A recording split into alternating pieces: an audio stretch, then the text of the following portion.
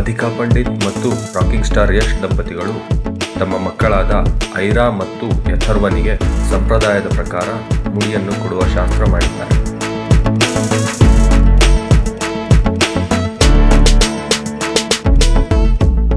ಮಗಳು ಐರಾಳಿಗೆ ನಂಜನಗೂಡಿನ ದೇವಸ್ಥಾನದಲ್ಲಿ ಹಾಗೂ ಮಗ ಯಥರ್ವನಿಗೆ ಮನೆಯಲ್ಲಿಯೇ ಮುಡಿ ಕೊಡೋ ಕಾರ್ಯಕ್ರಮ ಮಾಡಲಾಗಿದೆ.